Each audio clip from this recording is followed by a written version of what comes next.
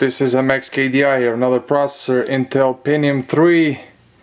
Get a closer look, it's running at 933 megahertz, 256 KB L2 catch, and it's got 133 megahertz front side bus. It's a SL4C9 Costa Rica. Again, Intel Pentium 3 running at 933 megahertz, 256 KB L2 catch, 133 megahertz front side bus. And it's Intel Pentium 3, here's the backside still works. I'm making a quick video again it's Intel Pentium 3 thanks for watching. Bye